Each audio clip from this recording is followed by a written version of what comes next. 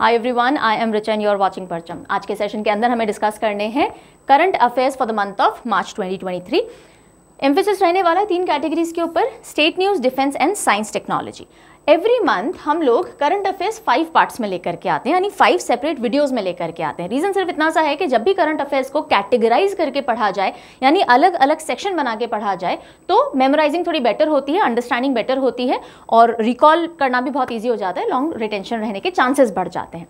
सो so, दो parts already आ चुके हैं पहले। डू नॉट वरी अगर आपने नहीं देखे हैं लिंक प्लेलिस्ट का, पूरी प्लेलिस्ट का दिया हुआ है डिस्क्रिप्शन में। इस वीडियो के डिस्क्रिप्शन में आप बाद में उन पार्ट्स को देख सकते हो। आज वाला वीडियो कंप्लीटली इंडिपेंडेंट है, आप यहाँ से भी शुरुआत कर सकते हैं। ये थर्ड वीडियो है, जिसमें हम साइन स्टेट न्यूज़ को डिस्कस करेंगे। ये न्यूज़ सिर्फ़ स्टेट्स एग्ज़ाम देने वाले बच्चों के लिए इंपॉर्टेंट नहीं है। नो ये सभी सेंट्रल लेवल एग्जामिनेशन के लिए इंपॉर्टेंट है, लेकिन जिस स्टेट से जुड़ी हुई है, हमने उस हिसाब से इसको कैटेगराइज कर दिया। जैसे जम्मू के सारा हम पढ़ेंगे यूटी का, फिर हम हिमाचल की पढ़ेंगे, फिर हम मे बी उत्तराखंड की पढ़ेंगे लाइक दैट तो जितनी कैटेगराइज करके पढ़ेंगे ऑर्गेनाइज करके पढ़ेंगे, हमारा दिमाग उतना बेहतर उसको प्रोसेस कर पाएगा। फिर हम डिफेंस न्यूज़ की बात करेंगे मिलिट्री एक्सरसाइजेज या जो भी डिफेंस न्यूज़ है, उसको डिस्कशन में लाना है। Then science tech ISRO NASA and whatever science tech news has happen okay इन सभी फाइव पार्ट्स का एक सिंगल पीडीएफ होता है जो आपको परचम क्लासेस डॉट इन पे अवेलेबल ऑलरेडी करवा दिया गया है। ये वेबसाइट है परचम की। यहाँ से आप जाकर के ले सकते हैं इंडिविजुअल पीडीएफ अभी इंग्लिश में आया है और हिंदी में by tenth of every month आ जाएगा। अगर आपके पास पीडीएफ बैंक है या सीए सब्सक्रिप्शन है ना व्हाट इज़ पीडीएफ बैंक जिसमें सारे ए टू जेड सारे पीडीएफ आ जाते हैं ऑफ़ ऑल द सब्जेक्ट्स जो भी चैनल पे डील किए जाते हैं? सीए सब्सक्रिप्शन क्या है? सीए से रिलेटेड सारे पीडीएफ आ जाते हैं जो भी चैनल पे पढ़ाया जा रहा है। तो वो दोनों आपको परचम ऐप से आपने लिए होंगे अगर आपके पास है तो उसमें ये ऑटोमेटिकली ऐड हो गए होंगे। ठीक है जी? सारी जानकारी दे दी। अब हम बढ़ते हैं हमारे पहले कैटेगरी पे दैट इज़ स्टेट न्यूज़। और मैं आपको पढ़ाऊं उससे पहले आप किक स्टार्ट क्वेश्चन का आंसर दीजिए। दिमाग को किक स्टार्ट करो जैसे गाड़ी किक स्टार्ट करते हैं। So these are two question इनके आंसर आज के वीडियो में आपको मिल जाएँगे लेकिन जस्ट टू नो अगर आप में से किसी को आते हो आपने डेली वीकली चैनल से फॉलो कर रखे हो करंट अफेयर्स तो आंसर करके बताइए। नहीं आते डू नॉट वरी सीखने के लिए हम आज आए हैं यहाँ पे। सो so, बाद में देखिएगा आंसर पहला क्वेश्चन देखिए which has become the first state in India to start insurance scheme for sericulturist sericulture क्या होता है? रेशम के जो कीड़े होते हैं ना, रेशम कीट जिन्हें बोलते हैं, जिनसे सिल्क बनता है। सो कौन सा राज्य रेशम उत्पादकों के लिए बीमा योजना शुरू करने वाला भारत का पहला राज्य बन गया है? अब ये क्वेश्चन आपने देखा this is important for all examination लेकिन हमने इसको स्टेट में कैटेगराइज करके डाला है। ठीक है, अगर आंसर आता है तो लिखिए। Second question is which has become the longest railway platform in the world Gorakhpur नहीं है जी अब, है ना? कौन सा है वो आपको बताना है। हाल ही में पीएम मोदी ने इनाग्रेट किया है और इसको Guinness book of world record में भी शामिल कर लिया गया है। नाम पता है तो जल्दी से write it down in the comment section और अब शुरुआत करते हैं हमारे स्टेट न्यूज़ पढ़ने के साथ में।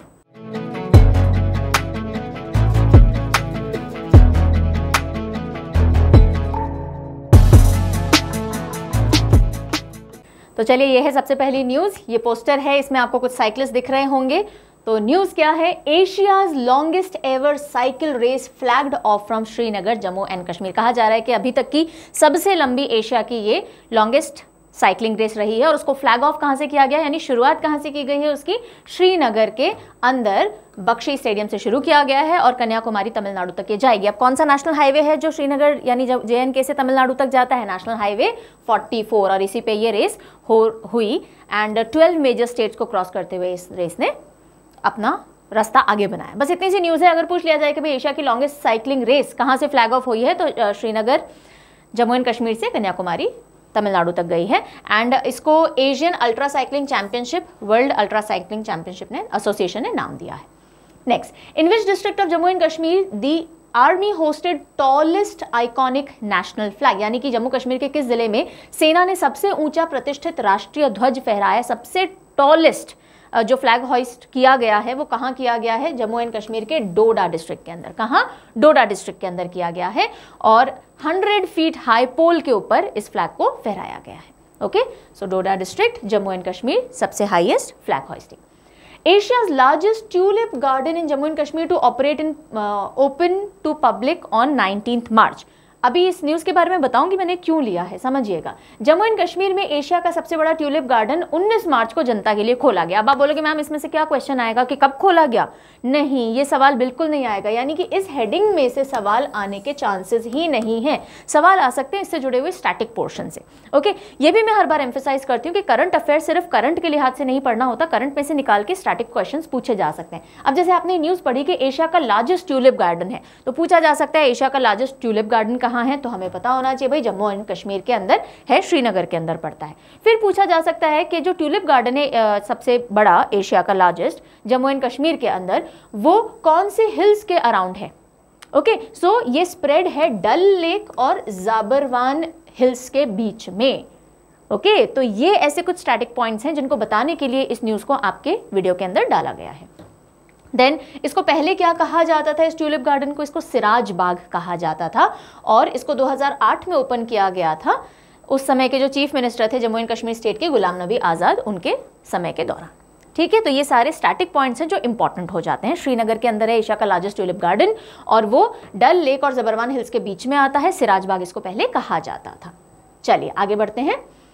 Himachal Pradesh H P is for Himachal Pradesh Himachal Pradesh science M O U यानी memorandum of understanding with French agency to improve drinking water and sanitation यानी हिमाचल प्रदेश ने पीने के पानी स्वच्छता के सुधार के लिए फ्रांसीसी एजेंसी के साथ समझौता ज्ञापन पर हस्ताक्षर किए हैं हिमाचल प्रदेश एक एमओयू के अंदर आया है एक फ्रेंच एजेंसी के साथ कि भाई आप आइए और आप हमारे यहाँ के ड्रिंकिंग वाटर और सैनिटेशन के अंदर हमको हेल्प कीजिए। सो so, ये न्यूज़ है।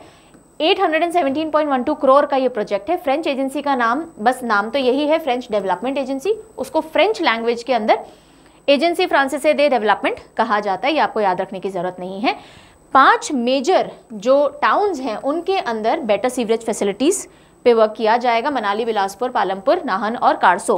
अब अगर आप किसी भी सेंट्रल एग्ज़ाम की तैयारी कर रहे हो, इन पाँचों टाउन्स का नाम याद रखने की ज़रूरत नहीं है, लेकिन अगर आप हिमाचल प्रदेश के किसी एग्ज़ाम की तैयारी कर रहे हो, ध्यान रख लीजिएगा इन नामों को। ठीक है? इतनी सी बात है।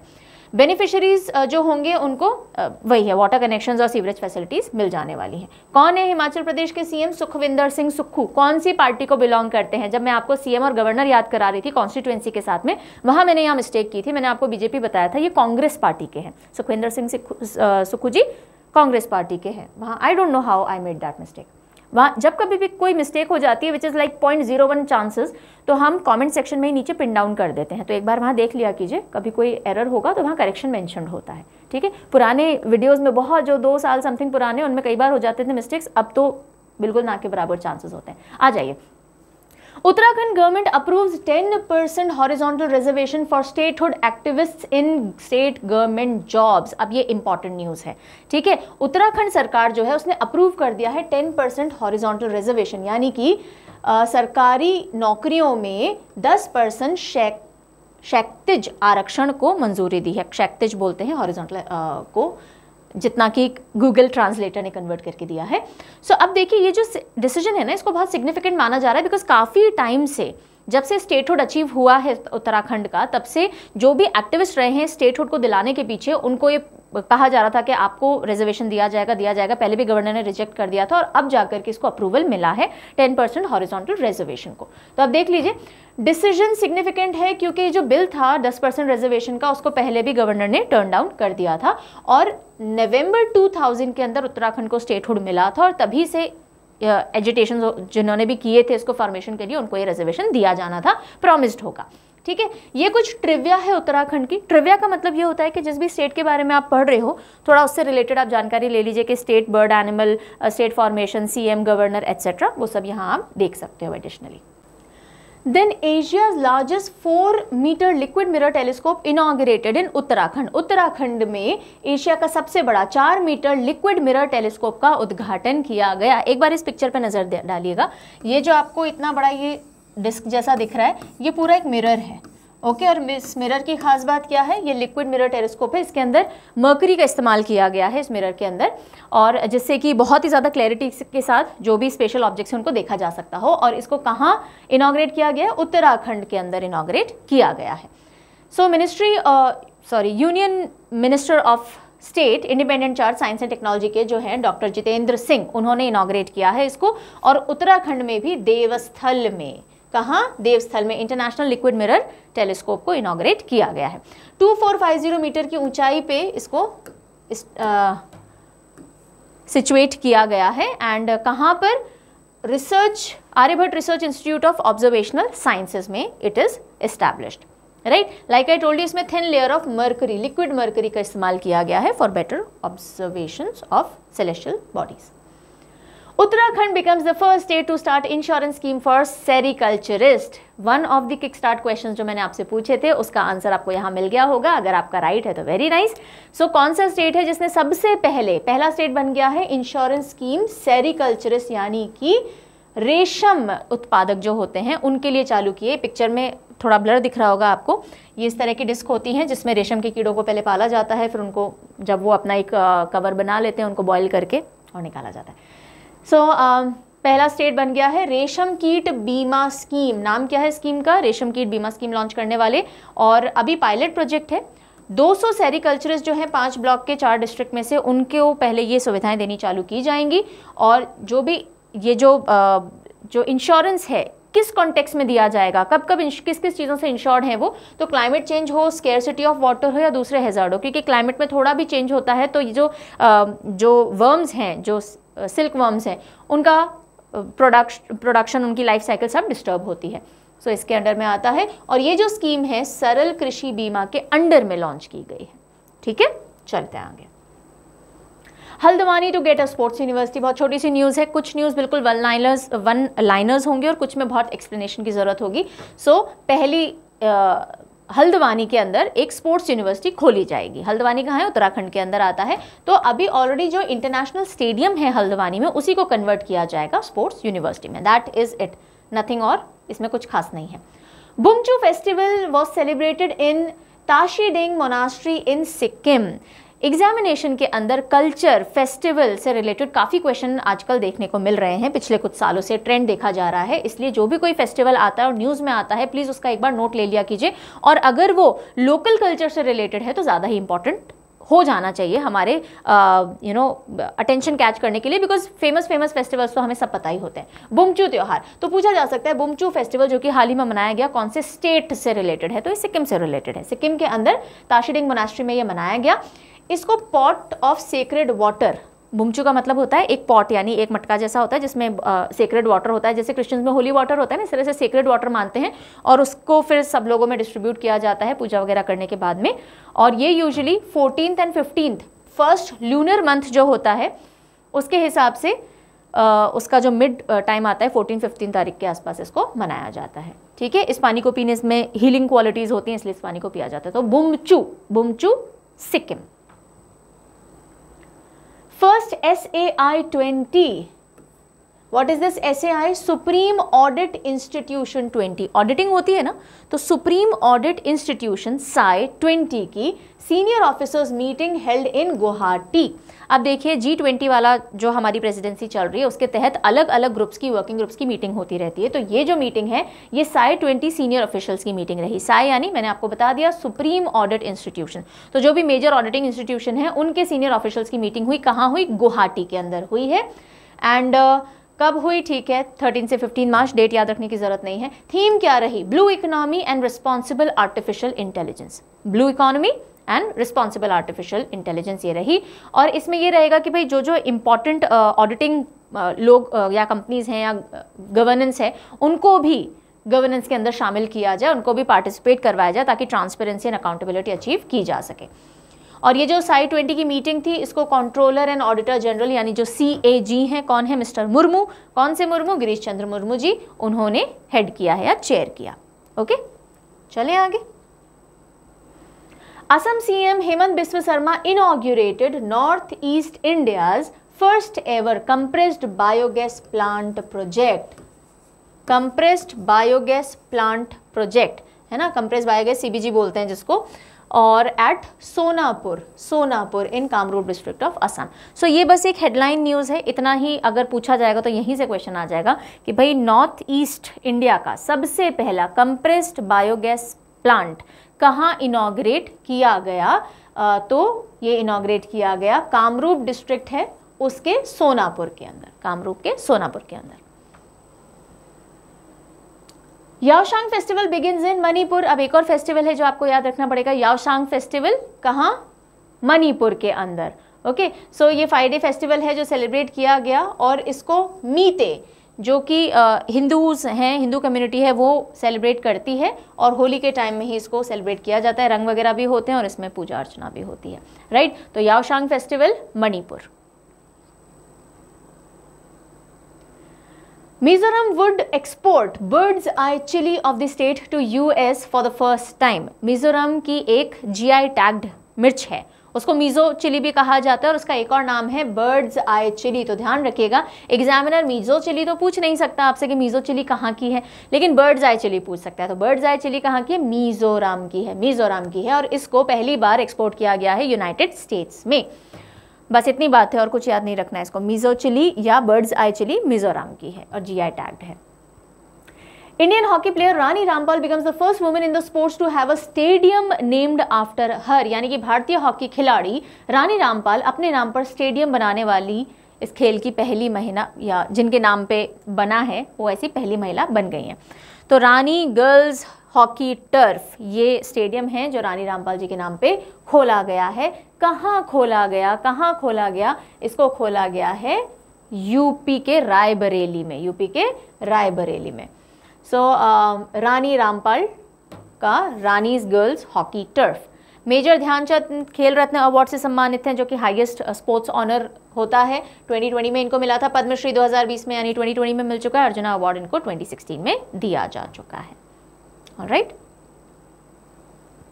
MP cabinet approves Ladli Bahina Yojana Ladli Lakshmi योजना तो चलता ही था मध्य प्रदेश में। अब एक और स्कीम थी जिसको पहले प्रपोज किया गया था, अब अप्रूवल मिल गया दैट इज़ लाडली बहिना योजना लाडली बहना यानी जितनी भी फीमेल्स होंगी अबव ट्वेंटी थ्री ईयर्स उनको इस स्कीम का लाभ मिलेगा। मध्य प्रदेश की ये स्कीम है। शिवराज सिंह चौहान जी के अंडर में इसको लॉन्च किया गया है। मुख्यमंत्री लाडली बहना योजना इसमें thousand rupee every month females के खाते में डाले जाएँगे irrespective of their caste creed what मतलब uh, कोई भी डिस्क्रिमिनेशन नहीं किया जाएगा। अगर आप ट्वेंटी 23 ईयर 23 ईयर्स से ऊपर के एज के फीमेल हो तो आपके खाते में हज़ार रुपये हर महीने डाले जाएँगे यानी बारह हज़ार रुपये every year okay that is it और इसको फिफ्थ मार्च को लॉन्च किया गया।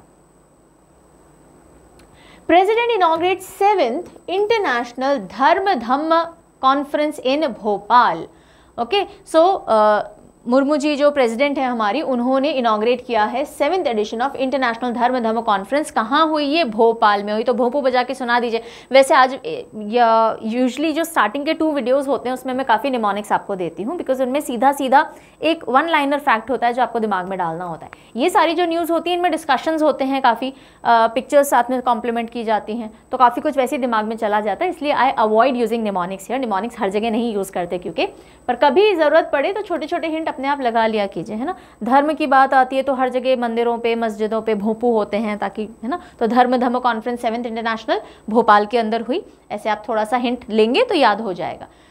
सो so, थीम uh, रही eastern humanism for the new era eastern humanism है वो न्यू एरा के लिए। उसके ऊपर एक थीम रही।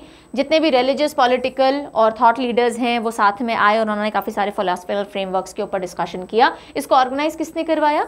India foundation in collaboration with Sanchi university of Buddhist Indic studies तो बस इतनी सी ये बात रही। काफ़ी सारे देशों के लोग इसमें शामिल होते हैं right Bhutan, Mongolia, Sri Lanka, Indonesia, Thailand, इन सबके नाम याद रखने की बिल्कुल ज़रूरत नहीं है। बी वेरी क्लियर क्या चीज़ याद करनी है, क्या चीज़ नहीं करनी है। ठीक है? चलिए।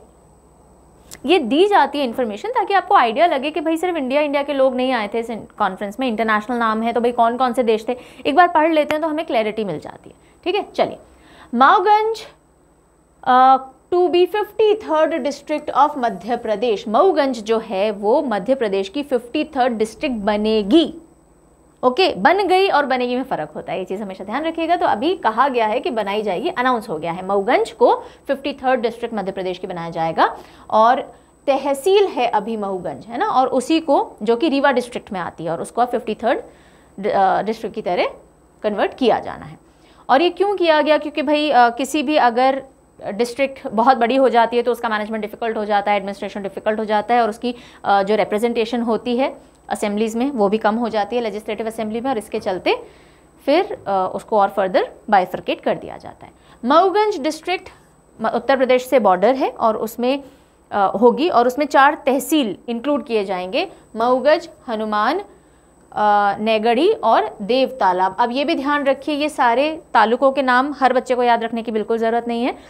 लेकिन अगर आप एमपी से रिलेटेड एग्ज़ाम दे रहे हो तो फिर आपको ये चीज़ देखनी पड़ेगी। ठीक है जी? Okay which state launch Mukhyamantri Vriksh Sampada Yojana, सारी schemes A to Z not A to Z Radha जितनी भी रेलिवेंट स्कीम्स हैं, वो एग्जामिनेशन के लिए बहुत इंपॉर्टेंट होती हैं। एग्ज़ाम में देखेंगे, ही देखेंगे आप क्वेश्चन तो स्कीम्स अगर आ जाती हैं, किसी भी मंथली करंट अफेयर के अंदर आप कोई स्कीम देखते हो, बिल्कुल चौकन्ने होकर के इसको बिल्कुल पकड़ लीजिएगा right which state launch Mukhyamantri Vriksh Sampada योजना। तो मुख्यमंत्री वृक्ष संपदा योजना किसने शुरू किया कौन सा राज्य? है छत्तीसगढ़। छत्तीसगढ़। तो बस इसमें कुछ नहीं करना है, हमने पेड़ देखने हैं। है ना? बड़े बड़े से वृक्ष देख लीजिए छत्तीस आपको याद हो जाएगा। सो सी एम जो है छत्तीसगढ़ के कौन है भाई? छत्तीसगढ़ के भू भूभाग से करवाया था भूपेश बघेल जी। उन्होंने लॉन्च की है एंड uh, इसको इंग्लिश में कहें तो ट्री वेल्थ स्कीम है। वर्ल्ड फॉरेस्ट्री डे पे इसको लॉन्च किया गया है। इंपॉर्टेंट डेज़ एंड थीम्स में याद करवाया था। वर्ल्ड फॉरेस्ट्री डे फॉरेस्ट में किसी की ट्रिप करवाई गई थी। वो लोग जो कि किसेस दे रहे थे। If you remember at all तो बताइए मुझे कौन सी डेट पे आता है वर्ल्ड फॉरेस्ट्री डे इस स्कीम से जो फार्मर्स हैं जो कमर्शियल प्लांटेशन करेंगे ना अपने खेतों में उनको सब्सिडीज दी जाएगी और उनको बेनिफिट दिया जाएगा। ये है मुख्यमंत्री वृक्ष संपदा योजना कि आप जनरल खेती ना करके कमर्शियल प्लांटेशन कीजिए क्योंकि उससे देश की इकोनॉमी में भी बूस्ट मिलता है तो इसलिए आपको सब्सिडी दी जाएगी। आ, फाइव एकड़ तक की अगर आपकी ज़मीन है तो ट्री प्लांटेशन के लिए फुल सब्सिडी है और उससे बड़ी ज़मीन पे 50 परसेंट सब्सिडी प्रोवाइड की जानी है।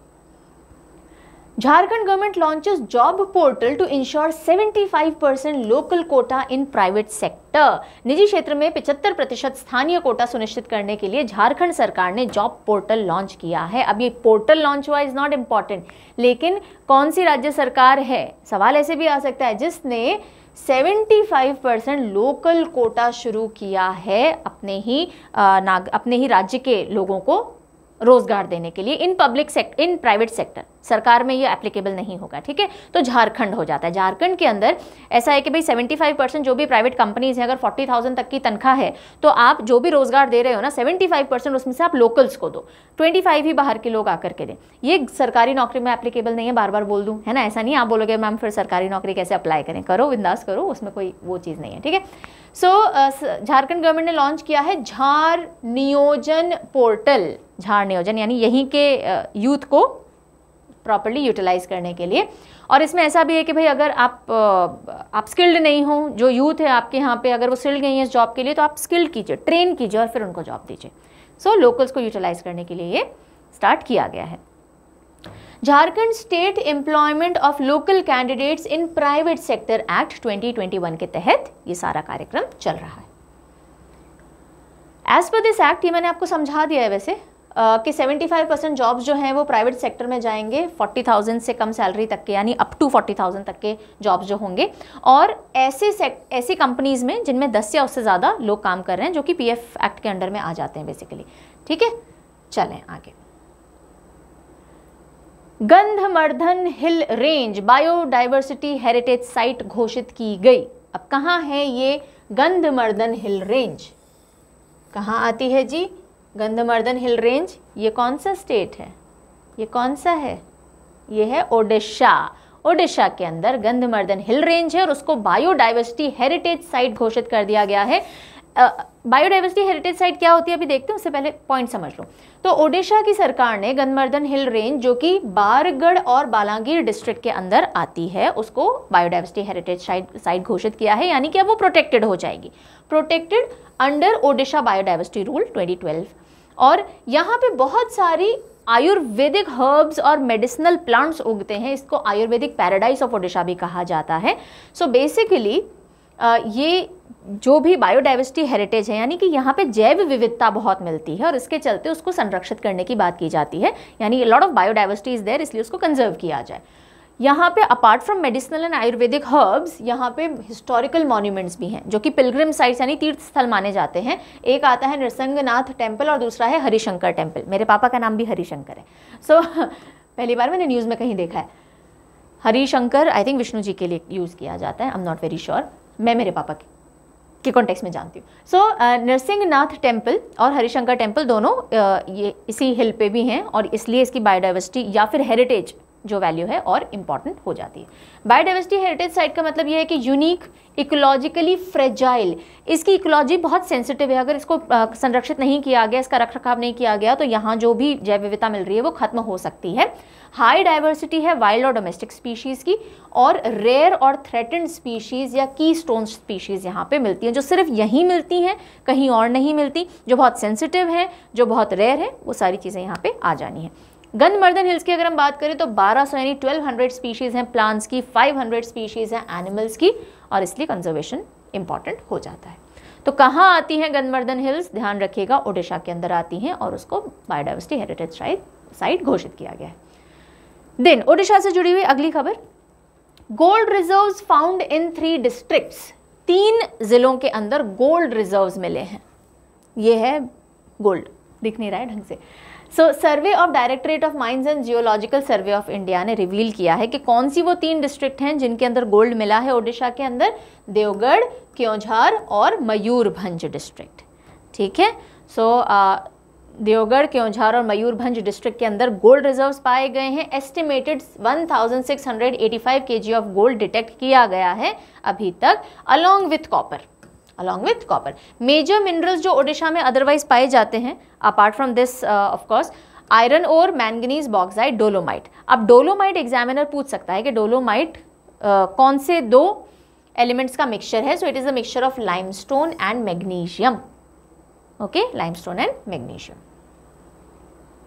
then A S I that is archaeological survey of India पुरातत्व uh, जो विभाग होता है आर्कियोलॉजिकल सर्वे ऑफ़ इंडिया विभाग तो नहीं बोलेंगे ए एस आई हिंदी में उसको क्या बोलते हैं? सर्व, पुरातत्व सर्वेक्षण। भारतीय पुरातत्व सर्वेक्षण has found 1300 year old Buddhist stupa in Odisha Jajpur Odisha के जाजपुर के अंदर 1300 साल पुराना बुद्धिस्ट स्तूप पाया गया है। बुद्धिस्ट बुद्धिज्म के अंदर स्तूप का कल्चर था तो वो पाया गया है। और कोंडलाइट माइनिंग साइट में, अब ये न्यूज़ डाली गई है particularly because of because of this khondalite mining site क्योंकि कोंडलाइट एक एक तरह का पत्थर होता है, जो पिंकिश कलर का होता है और जो भी रिलीजियस स्ट्रक्चर्स वगैरह बनाए जाते हैं, उनमें खूबसूरती देने के लिए यूज़ किया जाता है। क्योंकि ए को ये साइट मिल गई है और उसमें सॉरी साइट में बुद्ध स्तूप मिल गए हैं तो अब वो ए के कंट्रोल में आ गई। तो अब यहाँ से जो पत्थर निकाला जाएगा, उसको आप यूज़ नहीं कर सकते हो। और इसकी वजह से एक बहुत बड़ी स्कीम पे जो काम चल रहा था, वो रुकने के आसार बन सकते हैं। तो आइए अब इस कॉन्टेक्स्ट में इस न्यूज़ को समझ लेते हैं। तो कॉन्डेलाइट माइनिंग जो कि पारभड़ी में सिचुएटेड है ललितगिरी में वो एक मेजर बुद्धिस्ट कॉम्प्लेक्स है जिसमें काफ़ी सारे स्तूपा और मोनास्ट्रीज मिल चुके हैं। तो Lalitgiri Lalitagiri already sacred site मानी जाती है। तीन सेक्रेड साइट्स हैं ओडिशा के अंदर हम बात करें तो ललितागिरी रत्नागिरी और उदयागिरी। सो so, ललितगिरी रत्नागिरी उदयगिरी तीनों में से ललितगिरी को काफ़ी ज़्यादा रिलीजियस कॉन्टेक्स्ट में आप देखें तो माना जाता है इंपॉर्टेंट देन कॉन्डेलाइट की अगर हम बात करें, जिस खदान के अंदर से या उस एरिया से माइनिंग साइट से ये स्तूप मिले हैं तो वो एक तरह का मेटामॉर्फिक रॉक है, जो कि ईस्टर्न घाट्स में ही पाया जाता है पर्टिकुलरली ओडिशा के एरिया में पाया जाता है. और इसको कॉन्डेलाइट ग्रुप ऑफ़ रॉक्स के बाद ही नाम रखा गया है प्रेट्रोजोइक एरा का, यानी 1.6 बिलियन ईयर्स पहले का ये बना हुआ रॉक माना जाता है. अब दिक्कत क्या है? दिक्कत यह है कि इसको आपदा स्कीम के अंदर, ये जो कॉन्डलाइट स्टोन है आपदा स्कीम है, जिसमें कि जो जगन्नाथपुरी जी के आसपास वाला जो पूरा एरिया है, पूरी के अंदर, उसको डेवलप करने की बात हो रही है, उसको वापस से रिनोवेट करने की बात चल रही है और बात नहीं चल रही, काम चल रहा है रादर आपदा स्कीम के ऊपर। और 2020 से अराउंड ये स्टार्ट हो गया था if I am not mistaken और उसके तहत ये जो कॉन्डलाइट स्टोन है, इसको इस्तेमाल किया जा रहा है। लेकिन अब क्योंकि एएसआई के अंडर में आ गया तो यहाँ पर विपदा दिख रही है। और इसके लिए 3,208 करोड़ ऑलरेडी स्टेट गवर्नमेंट ने एलोकेट किए हुए हैं। कॉन्डलाइट स्टोन की बात करें तो फेल्सपार क्वार्ड्स और माइका और डिस्टिंग पिंकिश ग्रे कलर ये देता है जिसकी वजह से डेकोरेटिव रीजन से इसको यूज़ किया जाता है पर्टिकुलरली एंशियंट टेंपल कॉम्प्लेक्सेस में। I hope I am able to explain the news to you और क्या इसमें दिक्कत है वो भी मैंने आपको समझा दी। आगे बढ़ते हैं West Bengal urges centre to allow poppy cultivation poppy cultivation अफीम जिसे हम बोलते हैं। है ना? सो पॉपी कल्टिवेशन करने के लिए, यानी अफीम की खेती की मंजूरी दे दीजिए साहब, हमें ऐसा वेस्ट बंगाल गवर्नमेंट ने अर्ज़ किया है सेंट्रल गवर्नमेंट को, क्योंकि अभी तक सिर्फ़ चार स्टेट्स ऐसे हैं जहाँ पे पॉपी कल्टिवेशन अलाउड है कि आप अफीम की खेती कर सकते हैं। अफीम को काफ़ी ज़्यादा मिसयूज़ करके और ड्रग्स की तरह से यूज़ किया जा सकता है, इसलिए अफीम की खेती पर रोक है। हालाँकि इसके मेडिसिनल यूजेस भी हैं और कई जगह, जैसे कि वेस्ट बंगाल में, उनके रोज़मर्रा के जीवन का हिस्सा है बिकॉज़ उनकी काफ़ी सारी डिशेज़ में यूज़ होता है। और इसलिए बंगाल सीएम ममता बनर्जी जी ने ये अपील की है कि भाई हम क्यों महँगा खरीद रहे हैं, जबकि हम खुद अपने स्टेट में अगर इसको उगाएँगे तो हम सौ रुपये पर किलो तक का हम इसको ले सकते हैं। जबकि हम हज़ार रुपये पर किलो जितना इसको खरीद रहे हैं जस्ट बिकॉज़ ये बहुत कम उगाया जाता है और दूसरे स्टेट से हमें खरीदना पड़ता है। बात समझ में आ गई? चलिए। सो डेलिकेसीज प्रिपेयर की जाती हैं। इसके बीजों से बंगाली कुजीन का हिस्सा है और इसलिए इसका परमिशन मिले। अभी कौन से स्टेट हैं जहाँ पे ओपियम कल्टिवेशन अलाउड है? मध्य प्रदेश, उत्तर प्रदेश, राजस्थान। तीन ही है रादर चार भी नहीं है। ठीक है? तो चौथा भाई बोल रही है कि हमें अलाउ कर दीजिए। ठीक है जी? चलें आगे।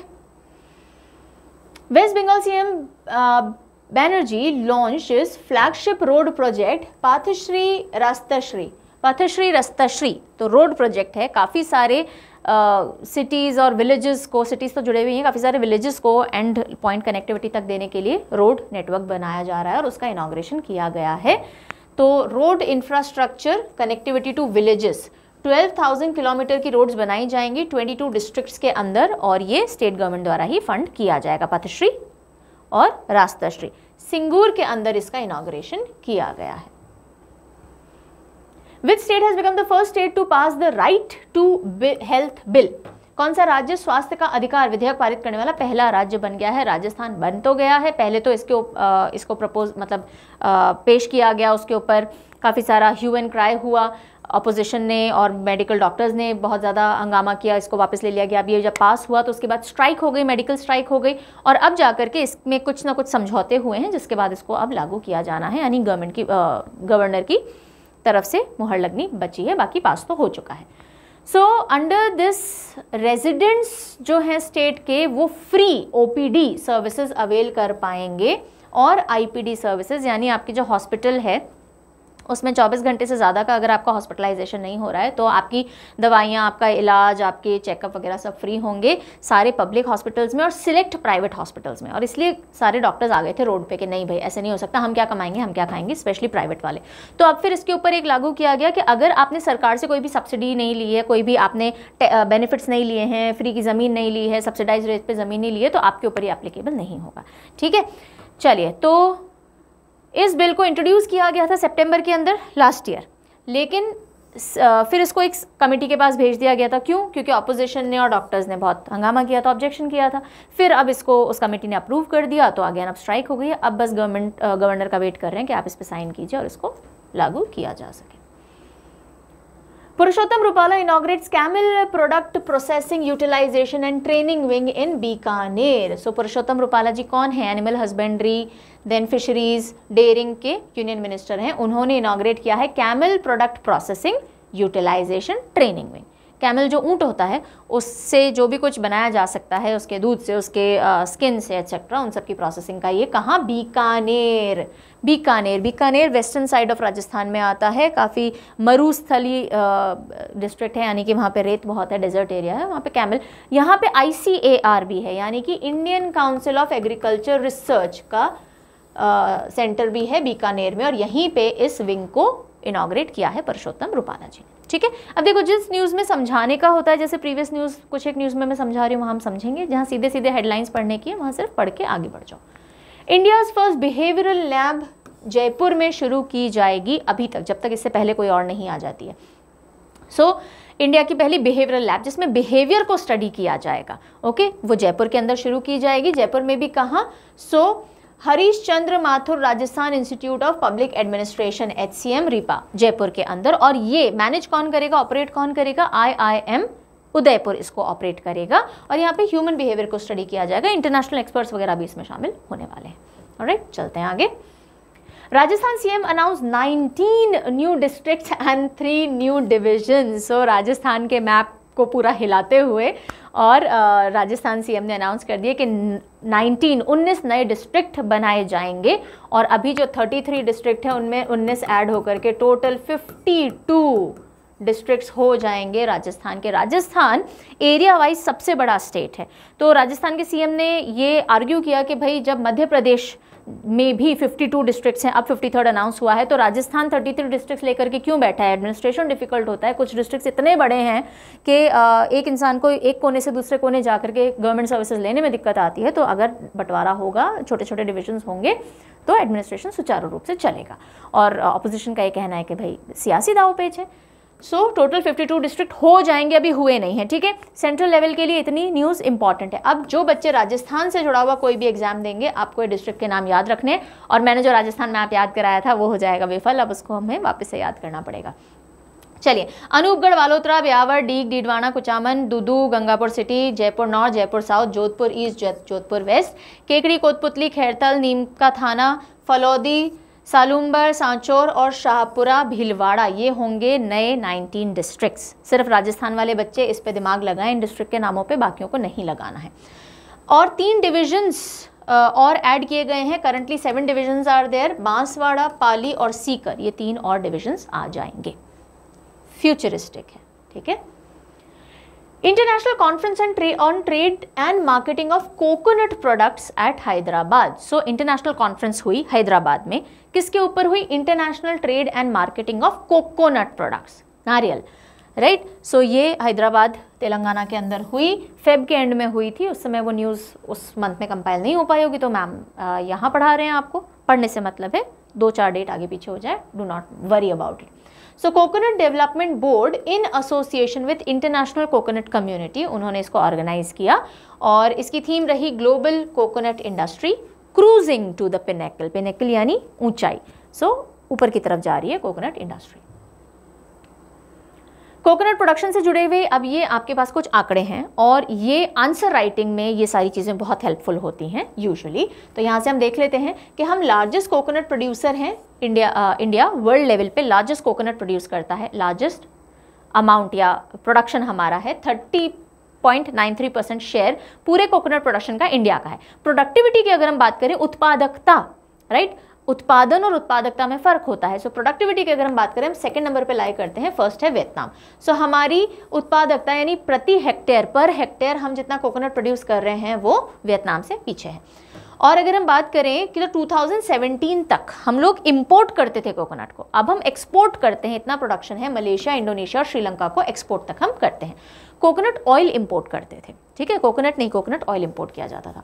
देन अब ये है कि हम डेसिकेटेड कोकोनट को भी एक्सपोर्ट करते हैं। डेसिकेटेड कोकोनट यानी चूरा, जो बुरादा जो होता है ना कोकोनट का, उसको अमेरिका और बाकी यूरोपियन कंट्रीज़ के अंदर भी भेजा जाता है।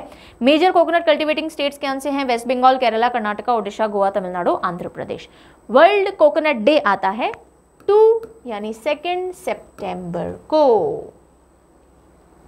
New health programme Arogya Mahila launched for women in Telangana तो सीधा सीधा क्वेश्चन आएगा तो देखा जाएगा कि भाई नया जो एक प्रोग्राम है, आरोग्य महिला कौन से स्टेट में शुरू हुआ है? तेलंगाना ने शुरू किया है आरोग्य महिला, जिसमें कि स्पेशल ओपीडीज लगाए जाएँगे विमेन के लिए और उसमें उनके टेस्ट वगैरह सब कुछ फ्री कंडक्ट किया जाएगा। और ज़्यादा डिटेल में जाने की आवश्यकता नहीं है।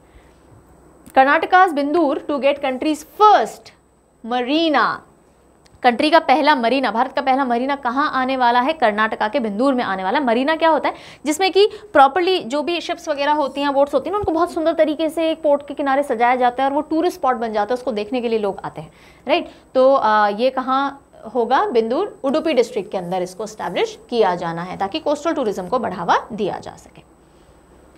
PM Modi inaugurated Shivamogga airport in Karnataka तो शिवमोग्गा एयरपोर्ट कर्नाटका में इनॉग्रेट हो गया और बहुत खूबसूरत सा दिखने वाला एयरपोर्ट है। ऊपर से ऐसा कुछ फ्लोरल सा डिज़ाइन दिखता है। और शिवमोग्गा एयरपोर्ट का जो फाउंडेशन स्टोन था, वो जून 2020 में रखा गया था। येदुरप्पा जो सीएम थे उस समय, उनके टाइम पे। और अब इसको इनाग्रेट किया गया है। 449.22 करोड़ के इन्वेस्टमेंट से इसको बनाया गया है।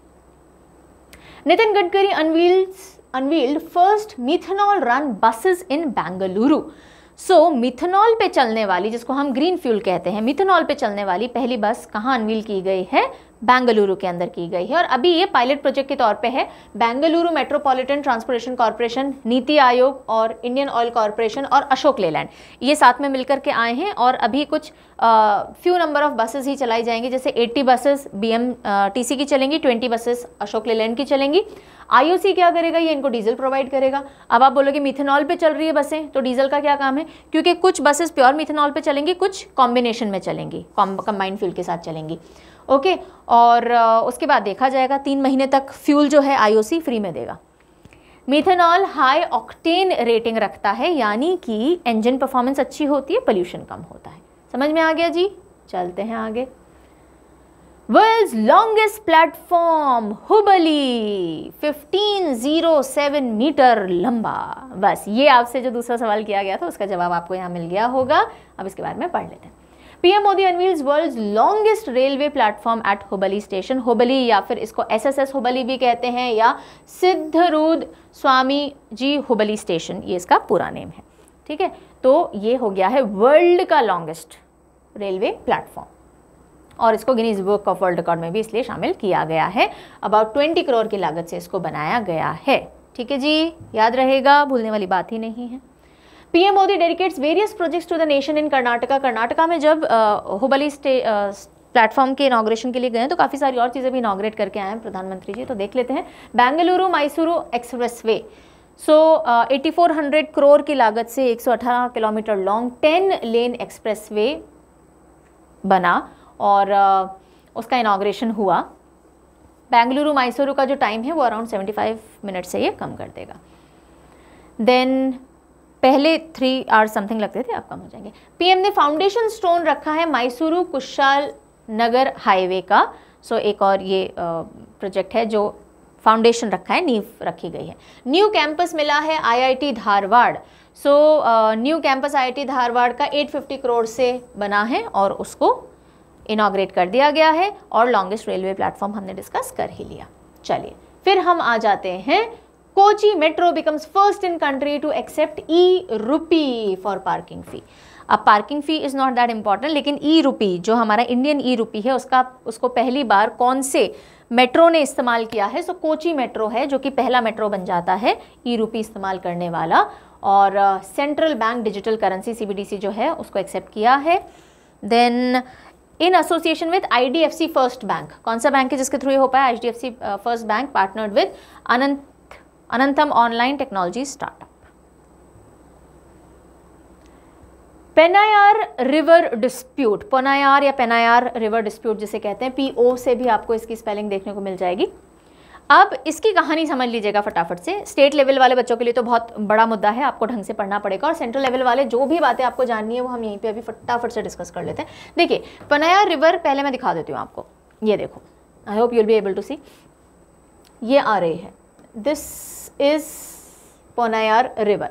शुरू होती है कर्नाटका से। कहाँ से शुरू हो रही है? कर्नाटका से। लेकिन मेजर पोर्शन इसका तमिलनाडु से होते हुए जाता है। ठीक है? और इसीलिए अब ये डिस्प्यूट आ गया। और ये डिस्प्यूट क्या है वो देख लेते हैं कि भाई देखिए कहानी शुरू होती है टू uh, 2018 से राधा 2018 में तमिलनाडु ने फ़ाइल किया एक लॉसूट ठीक है? कर्नाटका के अगेंस्ट तमिलनाडु जिसके पास मेजर पार्ट है रिवर का उसने कर्नाटका के अगेंस्ट लॉसूट फ़ाइल किया जहाँ से रिवर निकल रही है कि आपने चेक डैम्स और डाइवर्जन स्ट्रक्चर्स वगैरह बना दिए जिसकी वजह से पानी आना कम हो गया हमारी तरफ़ आपने डाइवर्ट कर लिया है अपनी तरफ़। सो so, इसके बाद नवंबर 2019 के अंदर तमिलनाडु ने फॉर्मली रिक्वेस्ट किया सेंट्रल गवर्नमेंट को कि भाई एक ट्रिब्यूनल बनाया जाए जो इस पर पूरी कार्रवाई करेगा। मिड दिसंबर 2022 में सुप्रीम कोर्ट ने सेंटर को तीन महीने का समय दिया कि भाई आप ट्रिब्यूनल बना लीजिए। और तीन महीने की जो डेडलाइन है सुप्रीम कोर्ट की जो थी ट्रिब्यूनल बनाने की, अब वो भी खत्म हो गई है। तो inter state river water dispute tribunal के ऊपर सुप्रीम कोर्ट की बात भी, का समय भी खत्म हो गया। तो अब पोनेयार रिवर का क्या करना है भाई? है ना? इस डिस्प्यूट का क्या करना है? ये वापस से न्यूज़ में आई है। तो यही बस हमें डिस्कस करना है कि डिस्प्यूट है। स्टार्ट कहाँ से हो रही है? क्या नहीं हो रही है? इसके आगे पीछे कौन से कॉन्स्टिट्यूशनल आर्टिकल्स वगैरह हैं, वो सारे फटाफट देख लेते हैं, क्योंकि स्टैटिक क्वेश्चन यहाँ से उठ के देखे जा सकते हैं। According to article 131 of the constitution supreme court जो है, वो ओरिजिनल ज्यूरिस्डिक्शन रखता है अगर अपार्ट फ्रॉम अदर एरियाज़ दो स्टेट के बीच में रिवर वाटर डिस्प्यूट आ जाए। तो कौन बीच में आएगा? सुप्रीम कोर्ट आएगा। ये कौन कहता है? आर्टिकल 131 कहता है। ठीक है तो ये आप आर्टिकल ध्यान रखेंगे। पनाया रिवर के बारे में देख लीजिए कि हमें ये तो पता है, कर्नाटका में ओरिजिनेट होती है, पर कहाँ से? नंदी हिल्स चिक्कबालापुरा डिस्ट्रिक्ट से ये स्टार्ट होती है। तमिलनाडु से फ्लो होती हुई बे ऑफ़ बंगाल में चली जाती है। मेन ट्रिब्यूटरीज हैं इसकी चिन्नार मारकंडा वनयार और पाम्बन और सेकेंड लॉन्गेस्ट रिवर है तमिलनाडु की आफ्टर कावेरी। ओके ये आ रही है कावेरी। ये कावेरी आ रही है तो अगर हम तमिलनाडु की बात करें, सबसे बड़ी तो ये कावेरी हो गई सेकेंड नंबर की आ जाती है पनयार और इसीलिए ये इंपॉर्टेंट है। 77 परसेंट ड्रेनेज बेसिन रिवर का तमिलनाडु में लाई करता है। तो ये सारे फैक्ट्स हैं जो हमने सामने रख दिए हैं। अभी तक डिस्प्यूट सेटल नहीं हुआ है। अब क्योंकि हमने रिवर डिस्प्यूट की बात की है, कुछ और स्टैटिक पॉइंट देख लीजिए। और भी इंपॉर्टेंट रिवर डिस्प्यूट जो स्टेट के बीच में चल रहे हैं अलग अलग स्टेट्स के बीच में, जैसे महादाई रिवर का, गोवा, महाराष्ट्र, कर्नाटका में चल रहा है, हमने रिसेंटली पढ़ा ही था। फिर महानदी का ओडिशा छत्तीसगढ़ में चल रहा है, वसंधरा वाटर डिस्प्यूट आंध्र प्रदेश, ओडिशा में चल रहा है, कृष्णा का तेलंगाना, कर्नाटका आंध्र प्रदेश में चल रहा है और Sutlej Yamuna link canal project का हरियाणा और पंजाब में चल रहा है। पानी रे पानी, तेरा रंग कैसा? बचा लो थोड़ा पानी। चलिए, अब हम आते हैं लास्ट स्टेट पे दैट इज़ तमिलनाडु। तो Tamil Nadu's eighteen wild life sanctuary to come up in Erode to come up है भाई नोटिफाई नहीं हुई है अभी। ध्यान रखिएगा, जब आपको न्यूज़ में नोटिफाई वर्ड दिख जाए ना तो मतलब होता है कि हाँ जी अनाउंस हो गई है कि बन गई है। अभी सिर्फ़ नेम हुई है अनाउंस हुई है, टू कम अप है नोटिफाई नहीं हुई है नोटिफाई नहीं हुई है। So eighteen wild life sanctuary Tamil Nadu की होगी, कहाँ होगी? इरोड़ा के अंदर होगी। उसका नाम क्या होगा? Thanthai Periyar wild life sanctuary if I am pronouncing it correct ये 80,567 हेक्टेयर्स के अंदर फैली हुई होगी अरोड़ी डिस्ट्रिक्ट के अंदर और ये Malai Mahadeshwara wild life sanctuary BRT wild life sanctuary Cauvery wild life sanctuary इन सब के प्रॉक्सिमिटी के अंदर यानी क्लोज है। और ये कनेक्टिंग लिंक भी है नीलगिरी बायोस्फीयर रिज़र्व और Cauvery south wild life sanctuary के बीच में। तो आसपास हर जगह से wild life sanctuary reserve area से ही कवर्ड है। सो ये एटीन टू कम अप है। Tamil Nadu inaugurates Kiladi Museum, a testimony of the life of ancient Tamils during the Sangam age तो संगम एज के समय के सामान जो कि ये दिखाते हैं कि हाँ भाई तमिल उस समय किस तरह से रहा करते थे क्या नहीं उनसे रिलेटेड जो भी कुछ है उसका म्यूज़ियम संग्रहालय किलाड़ी म्यूज़ियम तमिलनाडु के अंदर इनाग्रेट किया गया by CM M K Stalin और शिवगंगा डिस्ट्रिक्ट के अंदर इसको इनाग्रेट किया गया है। दो एकड़ में 18.43 करोड़ की लागत से इसको बनाया गया है। 15,000 यूनिक आर्टिफैक्ट्स अनअर जो खुदाई में निकले हैं fourth and eighth phases of excavation के अंदर उनको यहाँ डिस्प्ले किया गया है। ठीक है जी? और इसके साथ ख़त्म होता है हमारा पहला part and which is the state news अब हम चलते हैं सेकेंड कैटेगरी की तरफ़। सो so, एक माइलस्टोन हो गया है ख़त्म।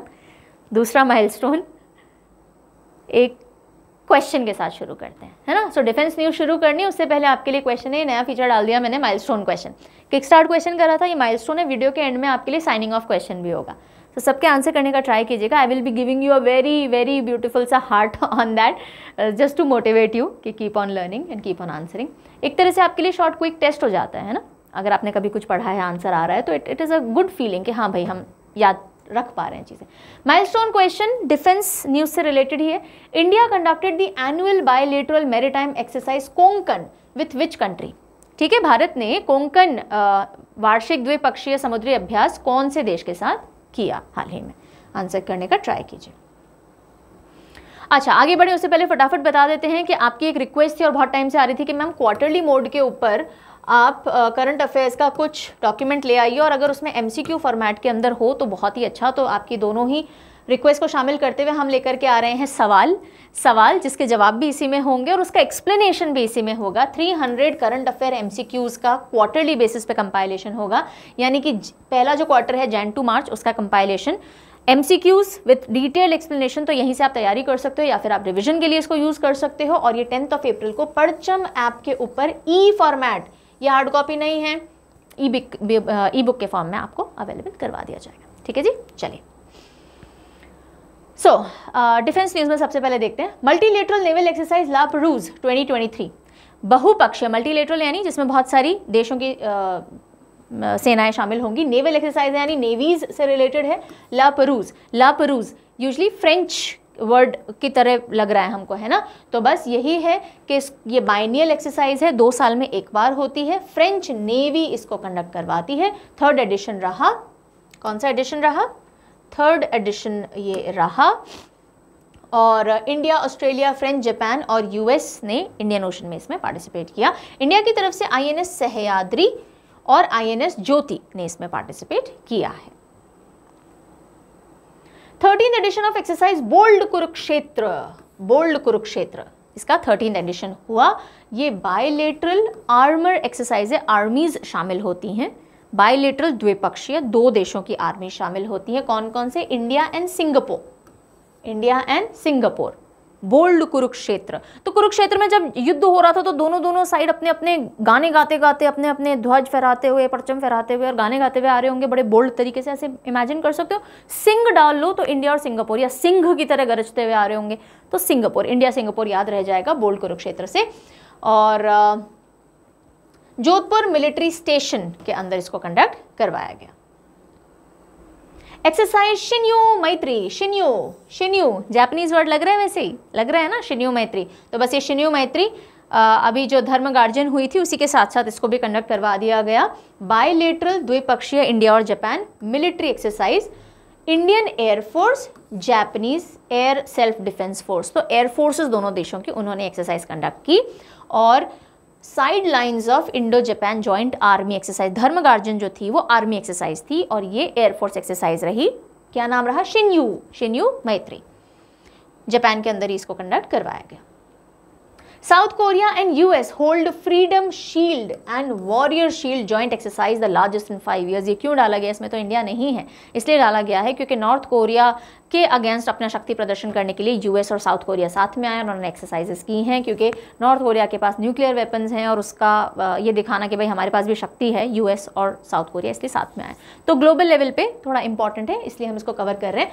South Korea and US Freedom Shield Warrior Shield तो शील्ड से याद रख सकते हो, ठीक है, कि भाई अच्छा नॉर्थ कोरिया तुम्हारे पास न्यूक्लियर वेपन्स है तो हमने शील्ड बना लिया ऐसा करके। सो टू कंट्रीज़ कंडक्टेड इससे पहले 2018 में फोल ईगल करके भी यूएस और साउथ कोरिया ने एक्सरसाइज कंडक्ट की थी।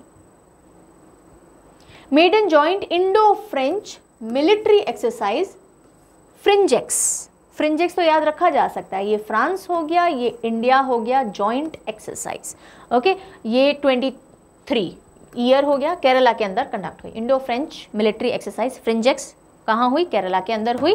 पांगोड़े मिलिट्री स्टेशन तिरुवनंतपुरम के अंदर थीम रही। Humanitarian assistance and disaster relief operations in a contested environment तो ह्यूमैनि वो डिजास्टर रिलीफ एक्सरसाइजेस होती है ना, उस तरह से इसको कंडक्ट किया गया। Then INS Trikand, part, Trikand participated in international maritime exercise Cutlass Express. Cutlass Express के अंदर आई एन एस त्रिकांड ने पार्टिसिपेट किया और ये कटलेस एक्सप्रेस क्या है उसके बारे में देख लेते हैं। दैट मल्टीलेटरल एक्सरसाइज है पहली बात तो बहुत सारे देश over 50 nations participated maritime exercise है नेवीज इसमें शामिल हुई और ये गल्फ रीजन के अंदर कंडक्ट करवाया किया गया। राइट? और इसमें इंडिया ने पार्टिसिपेट किया है आई एन के साथ में। इंपॉर्टेंट बस इतना ही है।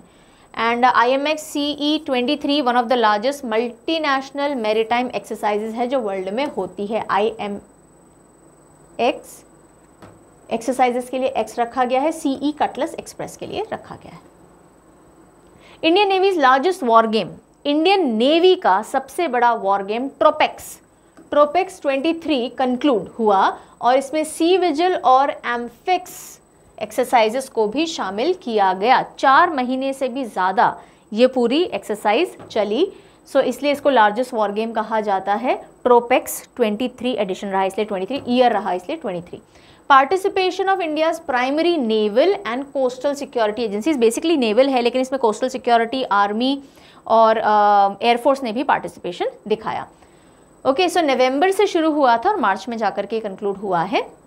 दो major exercises coastal defence exercise जो कि सी विजिल नाम से है विजिलेंस रखना यानी जो भी हमारे कोस्टल एरियाज़ हैं उनको उन पर निगरानी रखना एंड एम्फीबियस एक्सरसाइज एम्फीबेक्स जिसे कहते हैं। एम्फीबियन क्या होते हैं? जो पानी और लैंड पे रहते हैं ना तो उस उसी कोनोटेशन में इसको यूज़ किया गया है। सो so, ये Indian Ocean Arabian Sea Bay of Bengal सब में होती हुई आगे बढ़ी।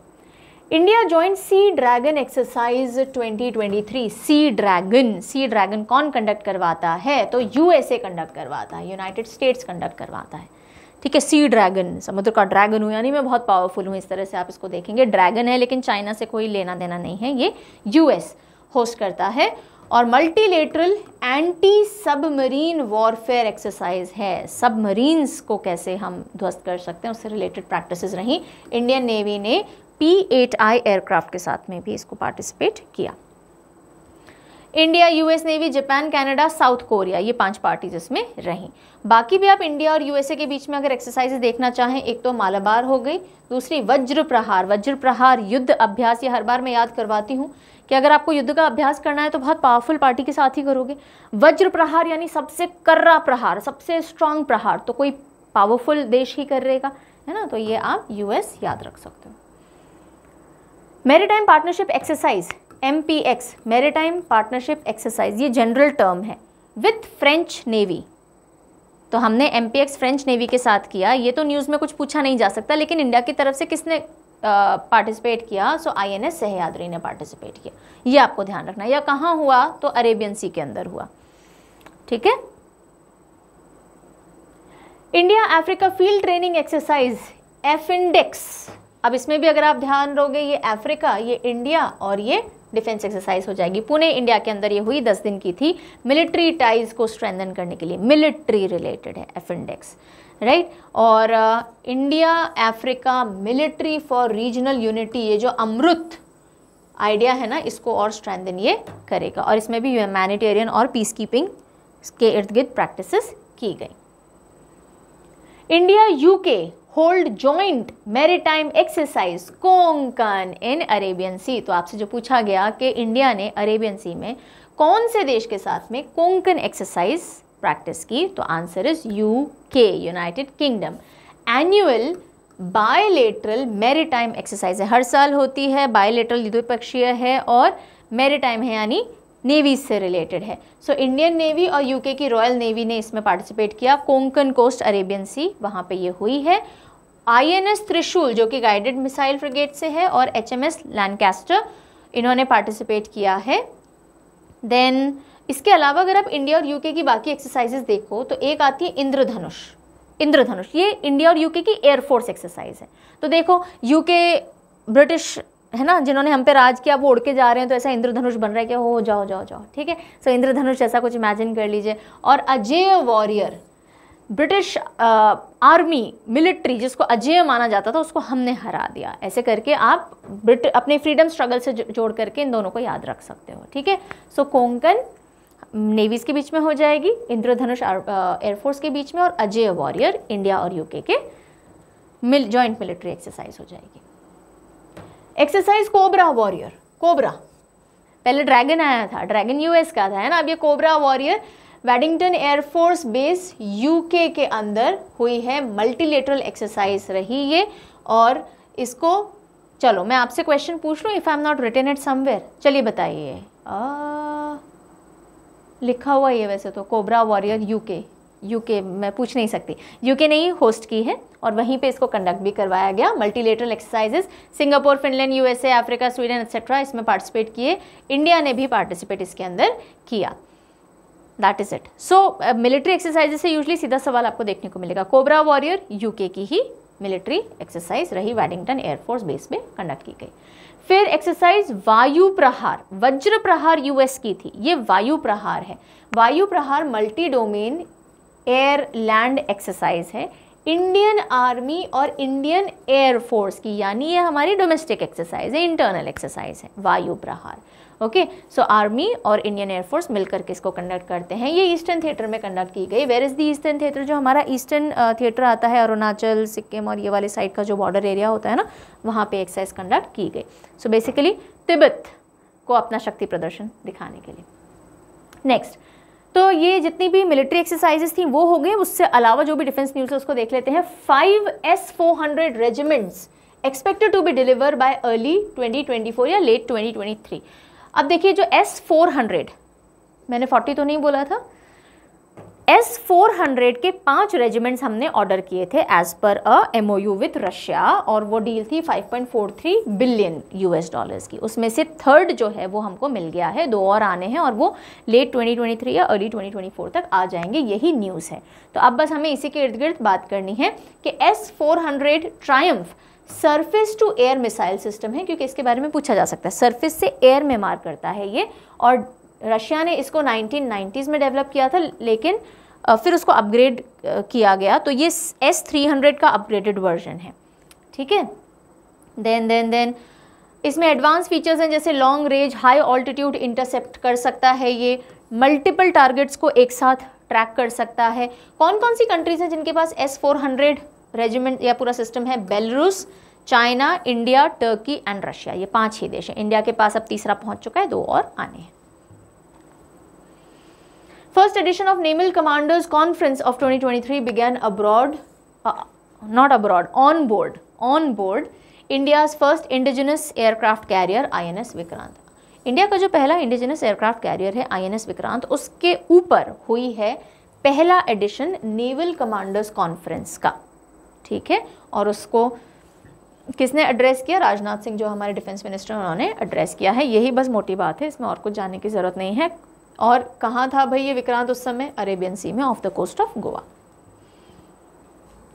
Then Defense Ministry BEL signed MOU to enhance operational capabilities of IAF. Indian air force की कार्य क्षमता बढ़ाने के लिए डिफेंस मिनिस्ट्री ने BEL यानी भारत इलेक्ट्रॉनिक्स लिमिटेड के साथ में समझौता ज्ञापन पर हस्ताक्षर किए हैं और ये जो MOU साइन हुआ है, इसके तहत दो सेपरेट कॉन्ट्रैक्ट साइन हुए हैं टोटल वैल्यू इस MOU की रहेगी 3700 करोड़ की और दो इंडिविजुअल कॉन्ट्रैक्ट्स हैं पहला कॉन्ट्रैक्ट जो कि 2800 करोड़ का है, हर एक की इंडिविजुअल आपको याद रखने की ज़रूरत नहीं है मीडियम पावर रिडार्स अरुद्र को सप्लाई करेगा बीईएल इंडियन एयरफोर्स को। ठीक है? तो ये ध्यान रखिएगा, अरुद्र क्या है? अरुद्र एक मीडियम पावर का रेडार है रेडार है ये, ठीक है?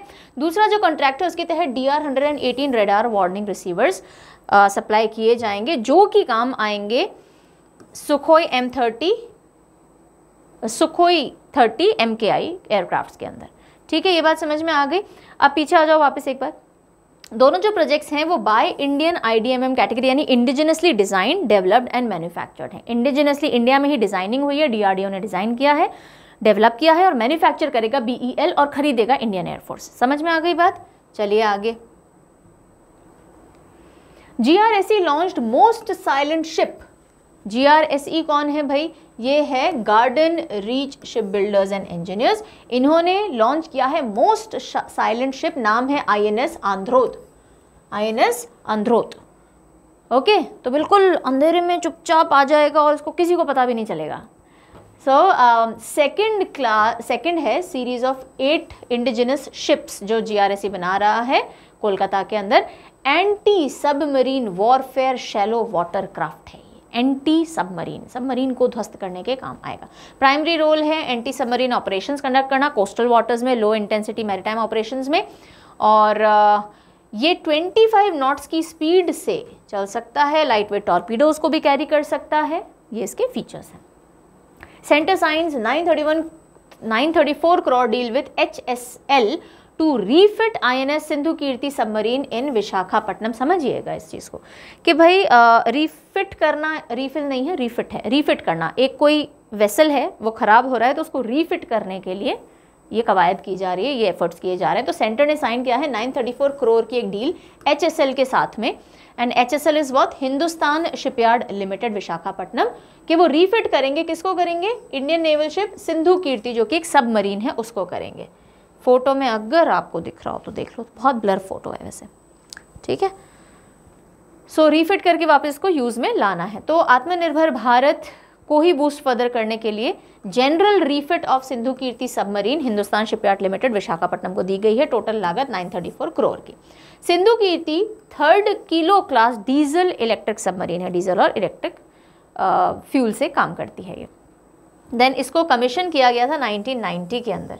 ठीक है, और तब से ये देश की सेवा में लगी हुई है।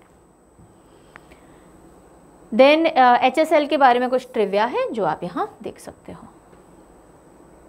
पाम 400 ड्रोन्स पाम 400 ड्रोन्स को सक्सेसफुली टेस्ट कर लिया गया है। प्रोटोटाइप वर्जन को टेस्ट किया गया है और अब जो एक्चुअल है उसको बनाया जाएगा और यूज़ में लिया जाएगा। So what are these Palm 400 drones ये आप समझ लीजिए।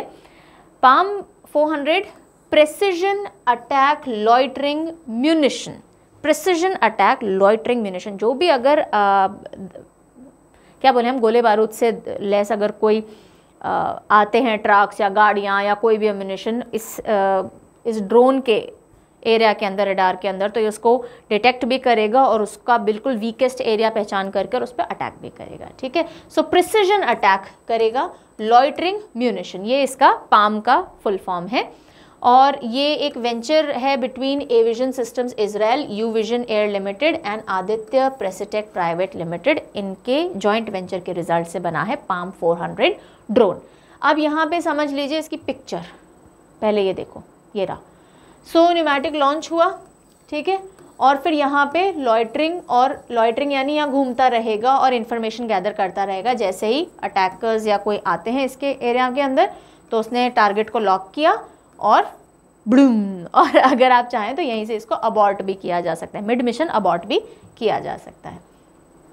Each Palm 400 select target when armoured vehicle enters kill zone और लॉन्च कर देता है आर्मर्ड पियर्सिंग प्रोजेक्टाइल जिससे कि सबसे लीस्ट प्रोटेक्शन वाले एरिया में ये अटैक करेगा उस पर्टिकुलर जो भी एंटर किया है व्हीकल उसको। और 3000 टू 4000 फीट अबव तक किल जोन में उड़ सकता है 120 मिनट्स तक। एंड इसकी रेंज है 100 किलोमीटर्स की। कॉम्प्लेक्स नेविगेशनल टेक्निक्स इसमें डाली गई हैं कि अगर अगर जीपीएस काम ना करे तो भी ये कंट्रोल किया जा सकता है। ठीक है? चलिए, इसके साथ में डिफेंस न्यूज़ ख़त्म हो गई। मेरा एनर्जी मीटर काफ़ी डाउन हो गया है। वापस एनर्जी गैदर करते हैं और लास्ट सेक्शन की तरफ़ मूव करते हैं which is science technology ISRO launched OneWeb India two mission from Satish Dhawan space centre in Sriharikota so ISRO ने OneWeb India two mission OneWeb India का सेकेंड मिशन लॉन्च किया है actually seventy two satellites ISRO को launch करनी थी UK based network access associate limited की और उनको लोअर अर्थ ऑर्बिट में इस्टेब्लिश करना था। सो so, उसमें से 36 सैटेलाइट्स जो थी वो ऑलरेडी अक्टूबर 2020 के अंदर लॉन्च कर दी गई थी। रिमेनिंग जो 36 सैटेलाइट्स हैं वो इस बार लॉन्च की गई हैं। First set of 36 satellites L V M three M two launch vehicle पे गई थी। इस बार L V M three L M three launch vehicle पे गई हैं। और uh, और क्या बताना है इसमें मुझे आपको? तो एक कमर्शियल अग्रीमेंट हुआ न्यू स्पेस इंडिया लिमिटेड और इसरो का ओके सो इसरो का ही कमर्शियल विंग है न्यू स्पेस इंडिया लिमिटेड जो कि बाकी ऑर्डर्स लेता है दूसरे देशों की वेबसाइट को लॉन्च करने के लिए। सो so, इन दोनों के बीच का एमओयू हुआ और अग्रीमेंट हुआ और उसके तहत इसरो ने फिर लॉन्च की हैं ये total 72 website not website site satellites जिसमें से 36 सैटेलाइट्स पहले हो गई थी 36 सैटेलाइट्स अब हुई हैं। मैं थक गई हूँ आपको दिख रहा होगा। आई एम सो सॉरी चलो वापस ले आते हैं सारी एनर्जी आफ्टर लॉन्च आप भी पढ़ पढ़ के थक गए होंगे। You can take a break I need to continue you also continue now so access associate limited more than 600 satellites अब स्पेस में डाल चुका है, जो कि कम्युनिकेशन सैटेलाइट्स हैं और जो इंटरनेट सर्विसेज़ वगैरह प्रोवाइड करेंगे across the globe launch vehicle mark three की अगर हम बात करें, इसको पहले जी एस एल वी कहा जाता था. G S L V mark three और अब इसका नाम बदल के चेंज हो गया है. Launch vehicle mark three G twenty C E twenty cryogenic engine C E twenty cryogenic engine का हाल ही में टेस्ट किया गया फ़्लाइट टेस्ट किया गया इसरो के द्वारा फॉर चंद्रयान थ्री मिशन ठीक है? और इसलिए ये न्यूज़ में आ गया कि C E twenty cryogenic engine है क्या? क्रायोजेनिक इंजन समझो पहले। Cryogenic engine liquid fuels fuels को यूज़ करते हैं, जो कि बहुत लोअर टेम्परेचर पे कूल किए जाते हैं, ठीक है? अब ये C E twenty cryogenic engine को डिज़ाइन और डेवलप किया है लिक्विड प्रोपल्शन सिस्टम सेंटर जो कि सब्सिडरी है इसरो की। और इसके अंदर गैस जेनरेटर साइकिल का इस्तेमाल किया गया। बस इतना सा बात ध्यान में रख लो और बहुत ज़्यादा डिटेल में जाने की ज़रूरत नहीं है। ठीक है तो one of the most powerful upper stage cryogenic engine हैं दुनिया के। तो क्रायोजेनिक इंजन में भी एक सुपीरियर स्टेज का इंजन है जो कि higher upper stages of utilities में आते हैं। IIT Madras researchers developed pocket-friendly device to detect adulteration in milk. So so, जो दूध में मिलावट होती है अलग अलग केमिकल्स की उसको पकड़ने के लिए उसका पता लगाने के लिए विद इन फ्यू टाइम और छोटे से M L of water M L of milk की ड्रॉप में भी पता लग जाए उसके लिए I I T Madras researchers ने पॉकेट फ्रेंडली डिवाइस बनाया है। I I T Madras researchers ने three D paper based portable device बनाया जो थर्टी सेकेंड्स के अंदर one M L of sample से भी डिटेक्शन कर लेगा। दूध के अंदर detergent, soap, hydrogen peroxide, urea, starch, sodium, hydrogen, carbonate, पता नहीं क्या क्या मिलावट होती है, उसका पता लग जाएगा। ISRO receives Indo US jointly developed NISAR satellite so NISAR satellite जिसको डेवलप किया गया यूएस में लॉन्च किया जाएगा इंडिया से तो यूएस और इंडिया का नासा और इसरो का ये मिला जुला सैटेलाइट रहेगा। NASA ISRO synthetic aperture radar, NISAR.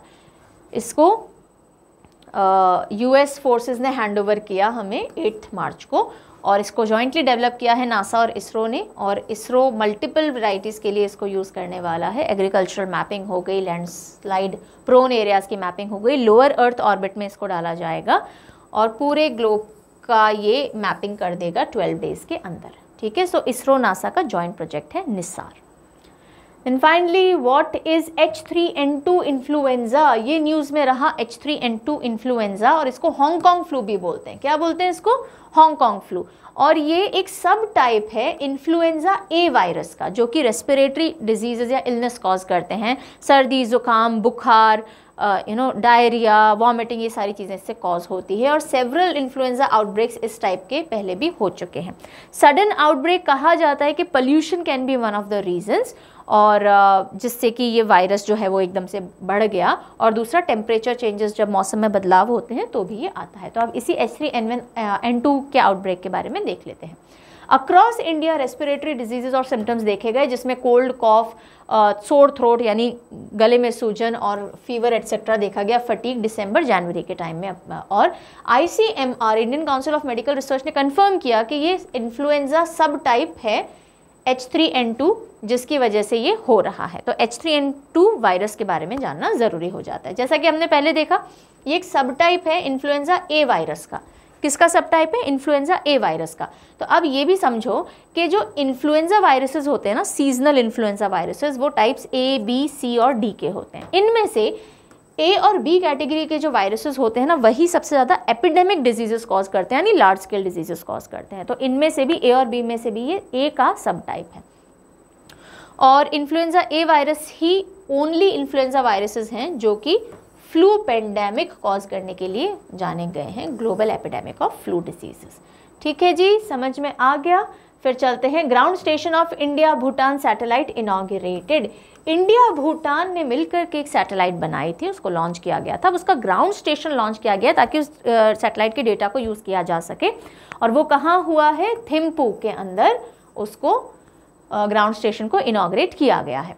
ये भूटान को हेल्प करेगा कि वो जो इंडिया भूटान की सैटेलाइट है ना इंडिया भूटान सैट जिसे कहा गया, उसके डेटा को यूज़ कर सके। टेरिटरी अपने टेरिटरी से रिलेटेड सारी रियल टाइम इंफॉर्मेशन ये सैटेलाइट दे देगा। इसको ISRO nano satellite two for Bhutan यानी I N S two B के नाम से भी जाना जाता है। I N S two B ये इसका ग्राउंड स्टेशन सेटअप किया गया है। थिम्फू के अंदर इसको इनाग्रेट किया गया।